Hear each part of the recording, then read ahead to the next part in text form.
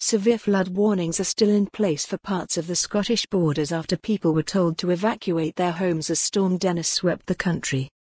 The Scottish Environment Protection Agency's, SEPA, highest warning level remained in force for Newcastleton and Hawick on Sunday after advising some residents to leave their homes. Rest centres, set up at Teviotdale Leisure Centre and Newcastleton Community Centre for affected people, were stood down on Sunday morning, the Scottish Borders Council tweeted. SEPA Flood Duty Manager Mark McLaughlin said on Saturday, severe flood warnings for areas in the Scottish borders have been issued tonight as we continue to see rivers respond to the impacts of Storm Dennis.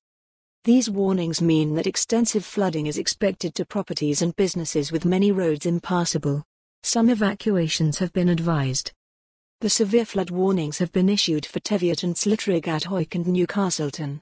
We advise people to stay away from flood water and to not take unnecessary risks. If you are affected or concerned about flooding, please contact the emergency services. Rest centers in hashtag Hawick and hashtag Newcastleton have stood down. We continue to monitor the situation from our bunker. SBC, at Scott Borders, February 16, 2020. Deputy First Minister John Swinney was among MSPs expressing concerns in the very difficult conditions with local Representative Paul Wheelhouse adding, This seems like it is pretty bad. Too early to say just how bad. It is the second time in a week storm conditions have hit the country with Hawick suffering particular damage. A guest house and bistro collapsed into the River Teviot last Sunday, though no one was injured.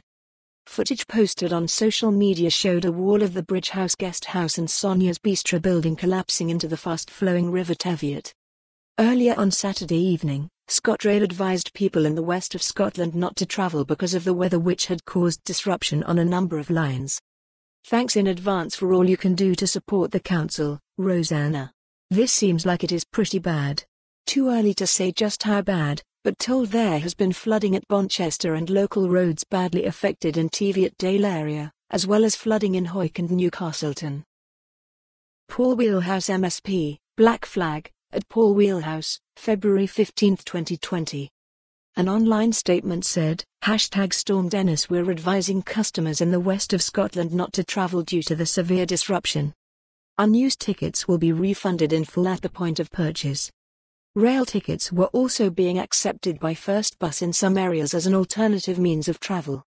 The weather led to replacement buses in areas including between Perth and Inverness, Dumbarton and for more on this story, visit the news article link.